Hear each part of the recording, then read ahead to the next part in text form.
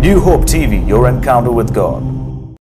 And you, O Bethlehem, in the land of Judah, are not the least among the ruling cities of Judah, for a ruler will come from you who will be the what was the description about this ruler? That not that he will be a great fighter, not that he will be a great musician, not that he will be a great miracle worker. What was the description about this ruler? This ruler who is going to come, is going to be a shepherd for my people Israel. No wonder shepherds went to see him. There are so many other people, uh, you know, so many other occupations that were prevalent at that time. But who went to see him? The shepherds went to see him. Why? Because the declaration was the greatest shepherd of all time is here. There's, there's absolutely no need for me to tell you who that is. Amen? Let's read John chapter 10 and verse 11. Jesus said, I am the good shepherd. The good shepherd sacrifices his life for the sheep. He's not saying, I'm the shepherd. What is he saying? I am the, I am the, come on, loudly, I am the good shepherd. Because there are many shepherds who would, who would not do that. You know, ordinary shepherds would not lay down their life for the sheep. Come on whose life is more important. Like when you go when when you know in when there is an emergency in the hospital between the mother and the baby what does a doctor normally ask you to do? Save the mother. Don't look for the baby you know. You will get another baby later but you the priority is to save the mother. Nobody would say, just save my baby, let me pass away. I mean, normally they wouldn't say this. And that is why it is ordinary, expected, natural result for us to know that shepherds, eh, on natural basis, they would not lay down their life for a sheep. Because in two days, they can make a new sheep they can you know get the sheep that they already have to procreate and and and and and, and have a new sheep. But jesus said wait i'm not an ordinary shepherd. I am the good shepherd. Why am i the good shepherd? Because i lay down my life i sacrifice my life for the sheep. That is why I am good. That is why you can depend on me. That is why when you walk with me, you will never fail. That is why, you know, I'm, I'm going to go out of my way. Jesus said there was this hundred sheep and one was wandering away. Jesus said, I, the good shepherd, what would I do? I would leave the 99 okay, good sheep and go running after the one lost sheep. That's why we are in church this morning, because He came running after us. He came when the lion had taken us in his arms and was running away with us. He didn't say, Oh, one sheep, I'll make more sheep. No, no, no. What did he do? Like David went after that lion and the bear, Jesus ran after the enemy to the extent that he had to lay down his life on the cross. He actually sacrificed his life on the cross. Why? So that we can be liberated, so that we can be broke, so that we can break out of the clutches of the enemy, so that he can break the teeth of the enemy. The enemy is no longer powerful enough to devour us. Why? Because Jesus he with his sacrifice on the cross he defeated this enemy once and for all isn't he a good shepherd? What does the Bible say? It says, The sheep, they recognize his voice. How many sheep of Jesus do we have here this morning? Let me tell you, let me tell you how to identify yourself as a sheep. You will recognize the voice of your shepherd. Amen? Amen. It's not very easy to mislead a sheep, you know, because the sheep really knows who is his or her real shepherd. And what do they do? They recognize their voice. There are many sheep who recognize his voice, but his sheep will come to him when he calls them by their name. Can you see a personal relationship here? You know, they, they, they, are not, you know, the, the sheep, the shepherd is not coming and saying, okay, all hundred of you sheep, come follow me, let's go have some good food. What does the shepherd say? You, Rupal sheep, you Partho sheep, you come, you come, you Rinky, you come. He's calling everyone out by their name and he's saying, you know what? Come, come, let me take you. Let me take you. And the Bible says, those who recognize his voice, they will come to him. He will lead them out to wherever he wants to take them. The Bible says, after he has gathered his own flock, he, what does he do? He walks ahead of them. This shepherd he, he doesn't say, okay, go, go, go, try, take a risk and see if you fall into a ditch. If you fall into a ditch, I will rescue you. No. He says, I will walk ahead of you. He's saying, this good shepherd, he, he gathers his flock and then he walks ahead so that they can follow him because they know his word. See, it, nowhere does it say that they will see the shepherd. Did you see that? Nowhere does it say that the sheep will see the shepherd and follow him. What does it say? They will hear his voice and follow him. Today, you know, the pursuit is always about, oh, I want to see a vision or I want to see a miracle. I want to see something. No, no, no. You hear his voice. How do you hear his voice? In his word. You know, when you pray, the Holy Spirit will begin to speak to you and will bring you his voice. Not always do you have to see him, but you always and always have to hear him. If you don't hear him, you don't, you don't have a relationship with him. You need to hear him on a daily basis. See, for, for two days, let's say that we are walking with David, the shepherd, we are David's sheep, and we're walking with David the shepherd for two days, and for two days we have not heard the voice of the shepherd. Probably we joined the wrong flock. you know, somewhere down the line, we took a wrong direction. And, and, if, you know, if David is not still giving directions, probably something went wrong. It is essential for you to follow and hear his voice. That's why the Bible says, man shall not live by bread alone, but by every word that comes from the mouth of God. When you wake up every morning, just say, Shepherd of my soul, Will you give me some fresh direction for today? Will you lead me? Will you walk ahead of me? I want to hear your voice. I want to recognize your voice and follow and come after you. I don't want to just follow some man. I don't want to follow everything that my church is doing. I don't want to be you know caught up in the in, in the culture that I live in. I want to follow my good shepherd. Amen.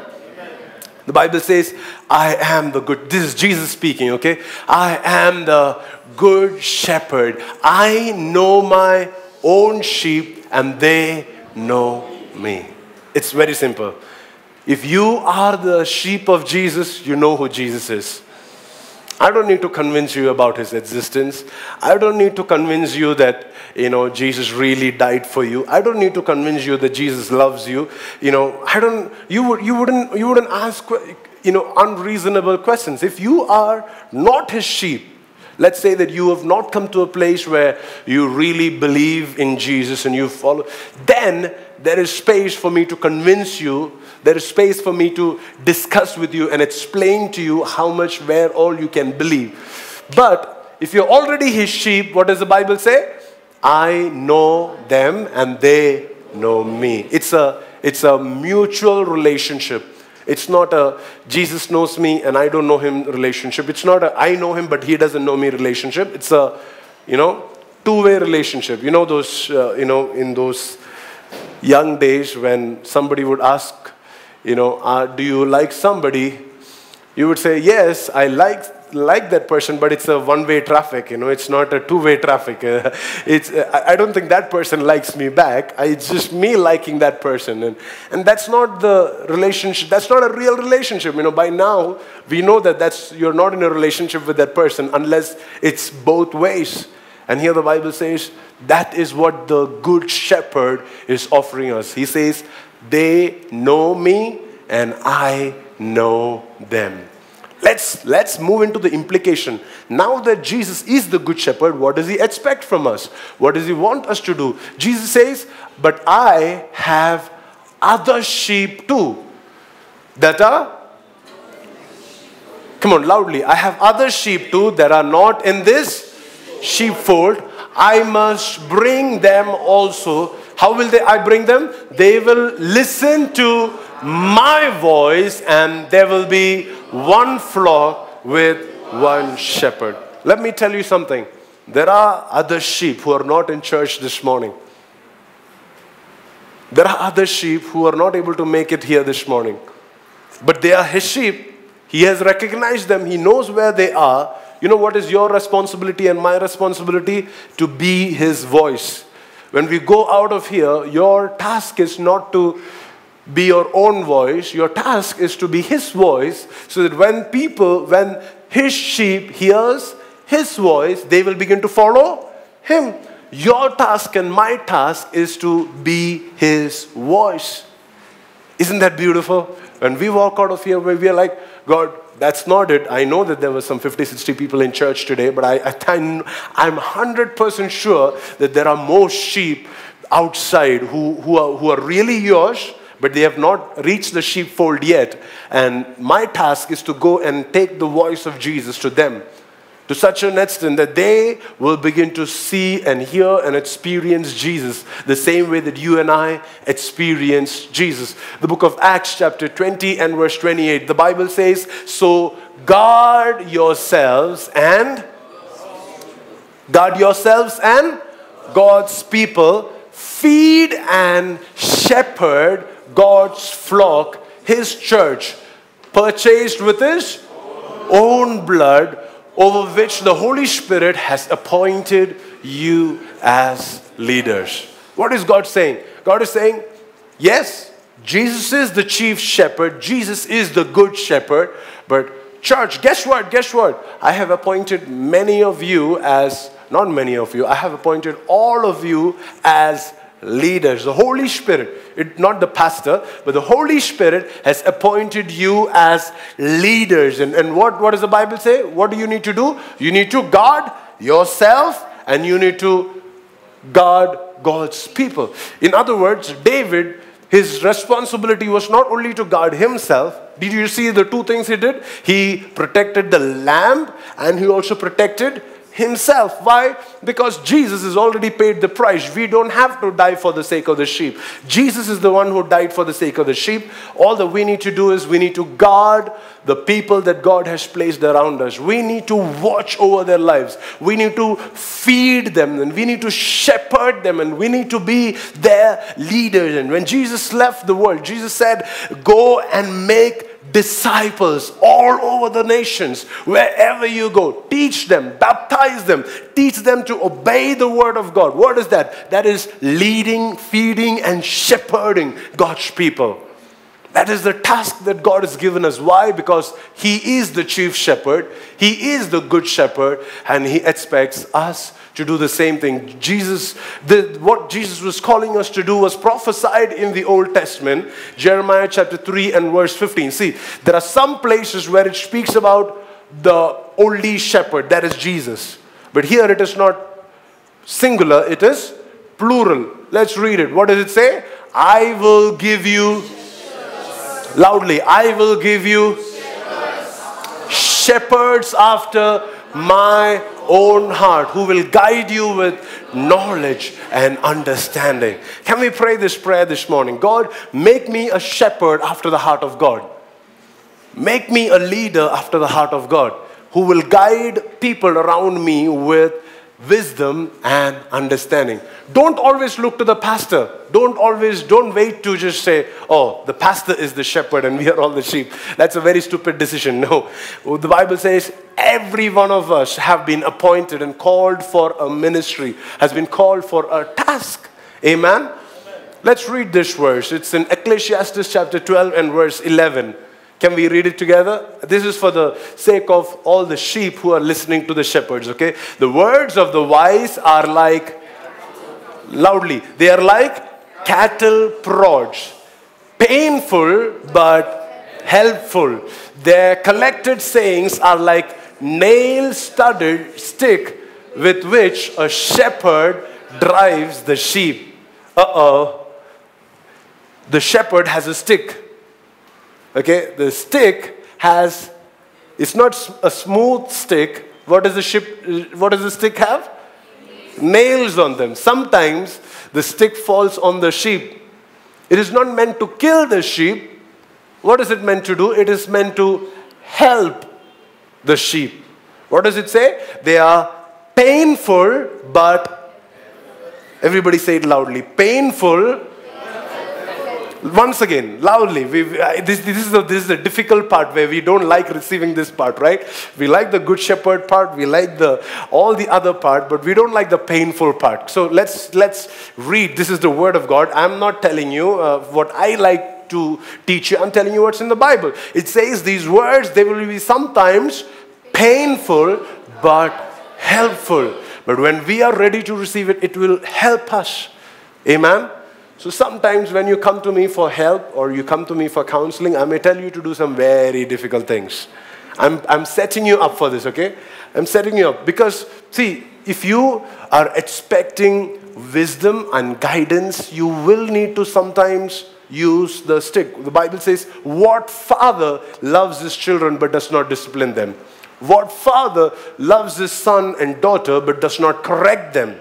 You can expect that from your shepherds. You should do the same thing to your sheep, to the people that you're leading over. You have all the rights, not in a hurtful way, not in a, uh, in a very, uh, you know, condemning way, but you have all the rights to use God's word and correct the people that God has placed you over. Amen? You know, we live in this world where we want to be politically correct.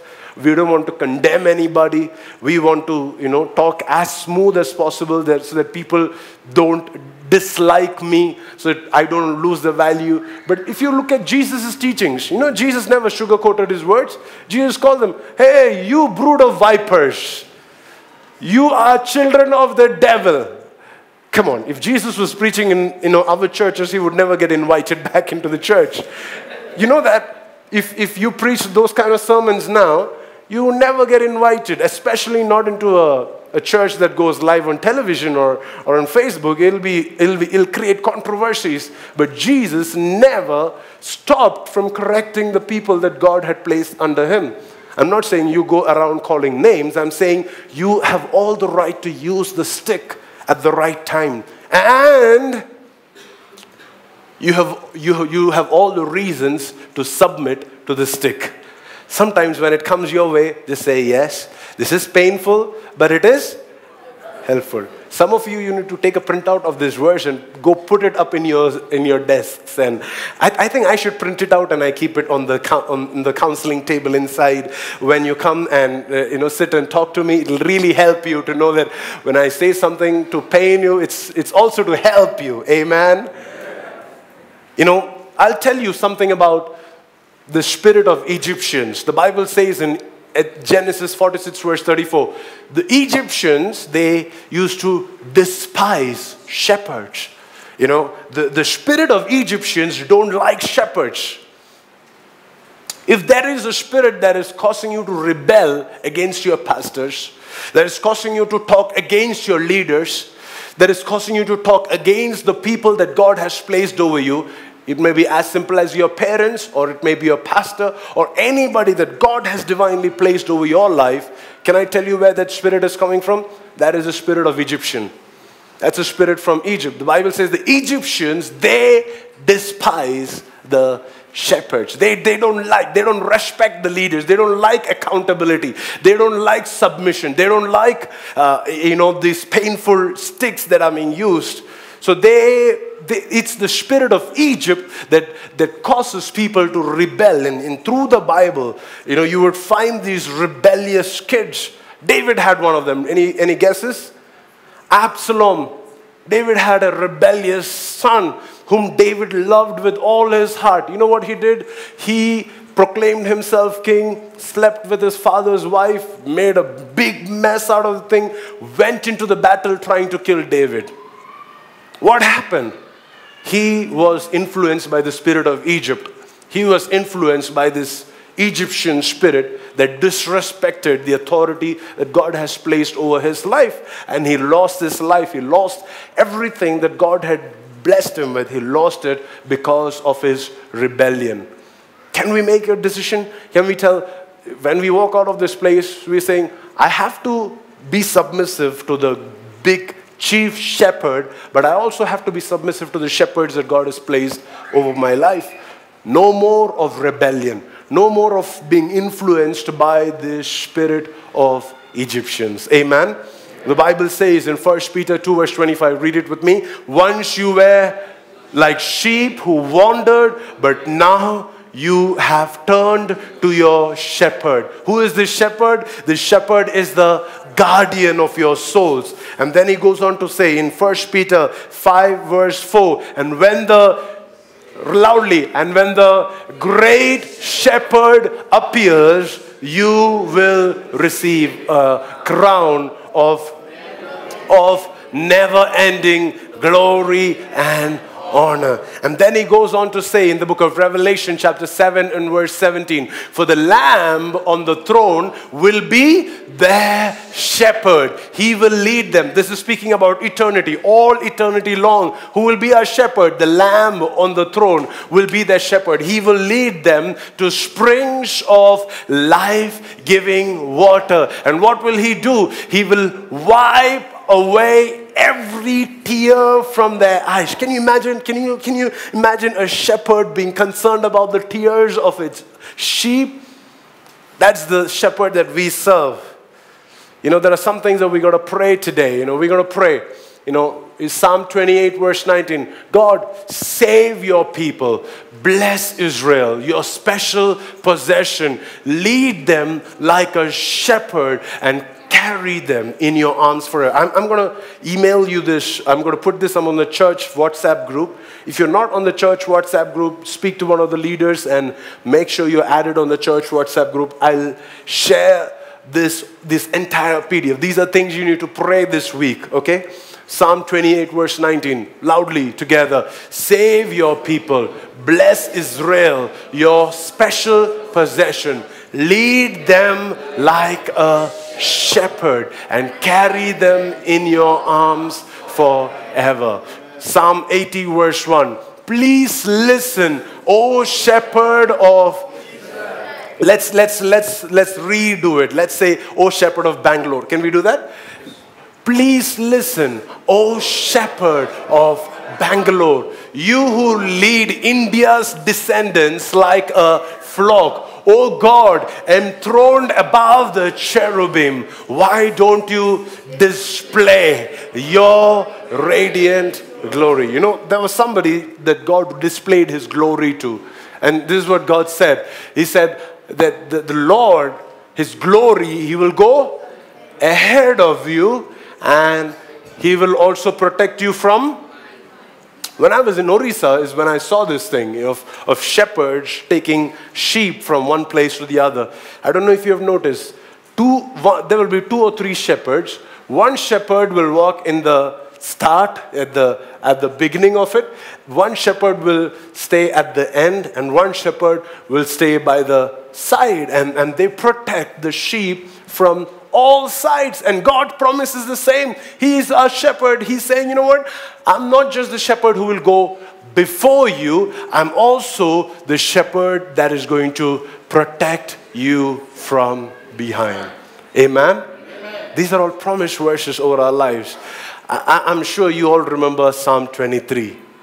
What is in Psalm 23? Let's, let's just stand up and let's declare this together, okay? I'm sure you can read this from the screens, or if you know it memorized, you can say it out as, uh, as, as, as it comes to your spirit. Just, you know, if you cannot read it, just, just say it out from your Bibles. Ready? One, two, three, go. The Lord is my shepherd. I have all that I need. He lets me rest in green meadows. He leads me beside peaceful streams. He renews my strength. He guides me along right paths, bringing honor to his name. Even when I walk through the darkest valley, I will not be afraid, for you are close beside me. Your rod and your staff, it protects and it comforts me. Not only that, you will prepare a feast for me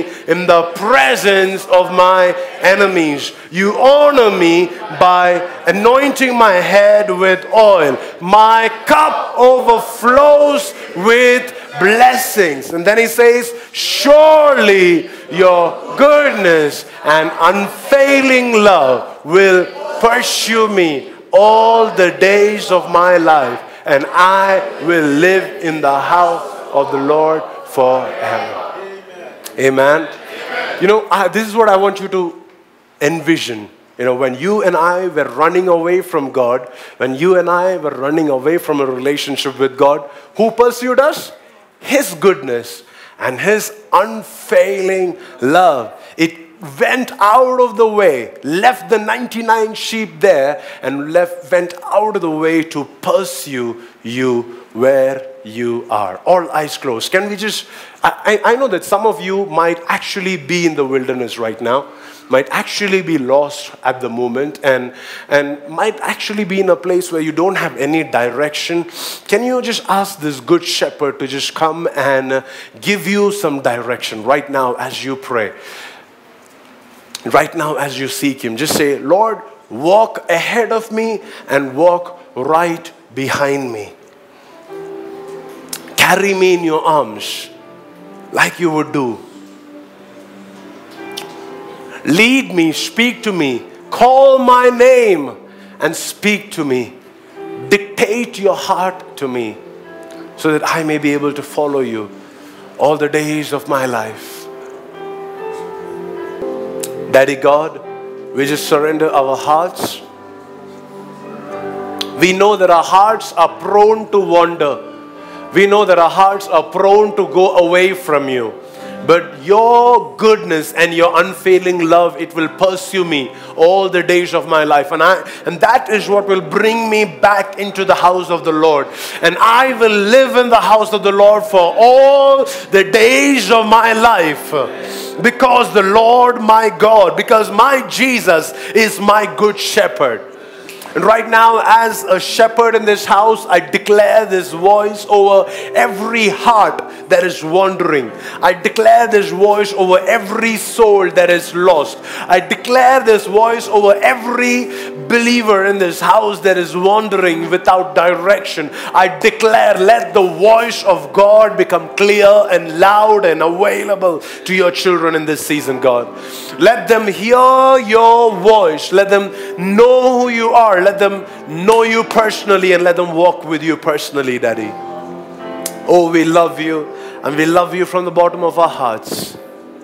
All the days of our life, we want to follow the shepherd of our souls. We give you the praise. In Jesus' name we pray. Amen. And everybody said, Amen. Amen.